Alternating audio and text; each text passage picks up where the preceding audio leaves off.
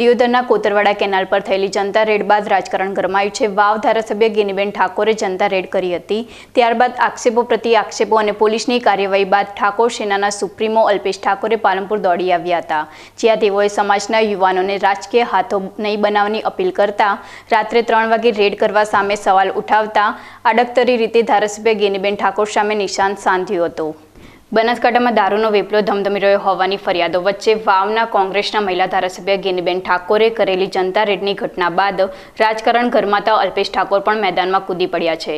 જેઓ આજે પાલનપુર દોડી આવ્યા હતા, જ્યાં તેઓએ જિલ્લા પોલીસ વડા સાથે બેઠક કરી નિર્દોષ લોકો સામે પોલીસ કેસ ન થાય અને સમગ્ર ઘટનાની તટસ્થ તપાસ થાય તેવી રજૂઆત કરી હતી.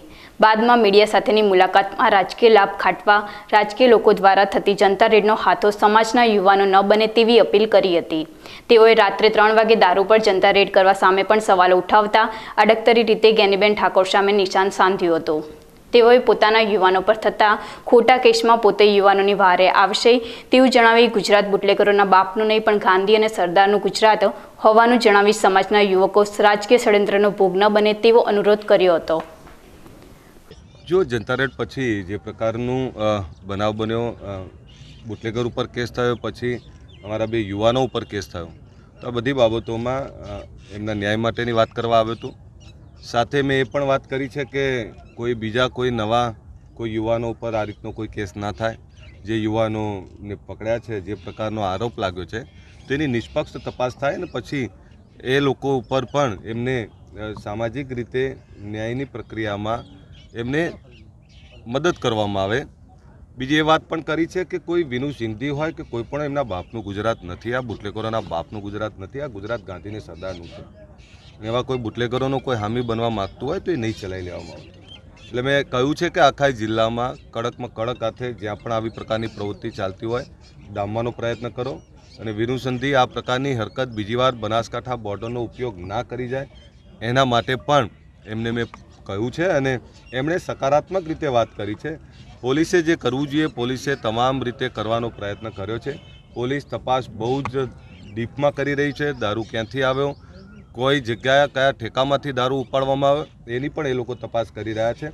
વાત એ છે કે આપ બધાએ જાણો છો કે છેલ્લા દસ વર્ષથી અમે આ મુહિમ ઉપાડી રહ્યા છે. કોઈ ક્યારેય આ પ્રકારનો બનાવ નથી બન્યો.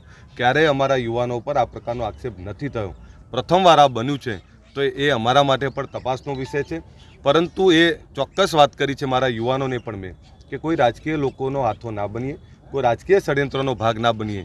જે સામાજિક મુહિમ અમે ઉપાડી છે એને સતત નિરંતર ઉપાડતા રહીએ છીએ, જ્યાં જઈએ છીએ ત્યાં વાત કરીએ છીએ.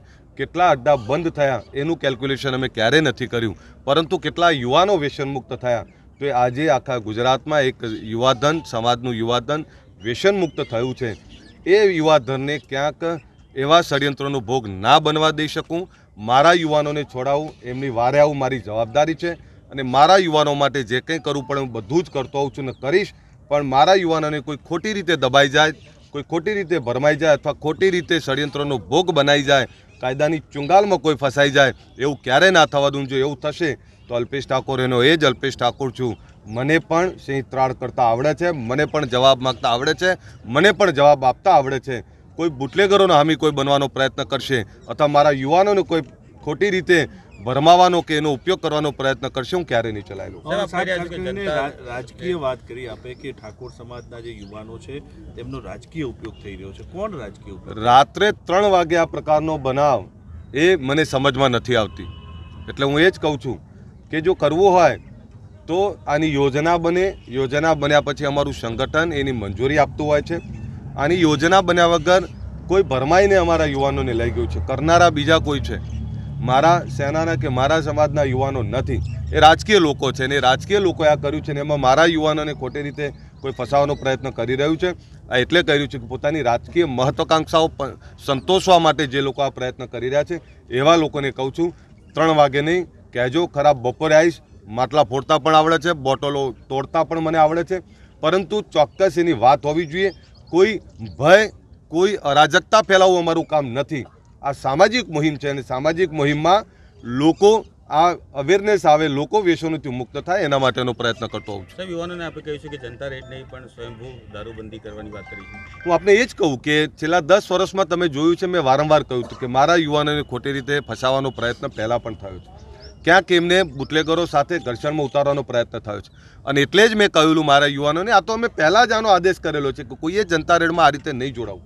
આજે પણ કહું છું કે કોઈએ જનતા રેડ ના કરવી જ્યાં પણ આવું ચાલે છે, એના ફોટોગ્રાફ્સ એની વિડીયોગ્રાફી મોકલાવો. બેઠા છીએ જવાબ માગવા માટે. મેં કહ્યું છે કે આ આ જિલ્લામાં નહીં, પણ ગુજરાતના જ્યાં પણ આવું ચાલતું હોય, ત્યાં અમને આ માહિતી આપો. પણ બનાસકાંઠા એસપી સાહેબે અમને બાંહેધરી આપી છે કે આખા જિલ્લામાં ક્યાંય પણ ટીપું નહીં થાય ક્યાં પણ આ પ્રકારની પ્રવૃત્તિ નહીં થાય એની અમે ખાતરી આપીએ છીએ. જે કંઈ બન્યું છે રાતના અંધારામાં બન્યું છે તો એની પણ નિષ્પક્ષ તપાસ કરીશું. એના પણ કડકમાં કડક કાર્યવાહી કરીશું અને કોઈ નિર્દોષ યુવાનોને અમે દંડવાનો પ્રયત્ન નહીં કરીએ. ગેનીબેન વિશે શું કહેશો જે રીતે જનતા મેં કહ્યું ને કે રાજકીય લોકોની વાત નથી આ. હું હજુ તમને કહું અલ્પેશ ઠાકોરને આવડે છે. મારા એક આદેશ ઉપર મારા લાખો યુવાનો જ્યાં ધારું ત્યાં એ અડ્ડા ઉપર રેડ કરી શકે એમ છે.